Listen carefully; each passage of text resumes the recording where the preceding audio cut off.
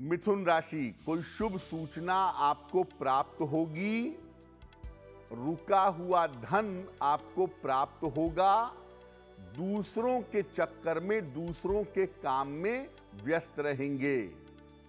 किसी निर्धन व्यक्ति को अगर धन का दान कर दें तो आपका दिन और भी ज़्यादा बेहतर होगा।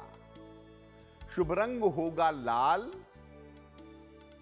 और भाग्य का मीटर आपको नंबर दे रहा है, सत्तर प्रतिशत मध्यम भाग्य आपके साथ बना हुआ है।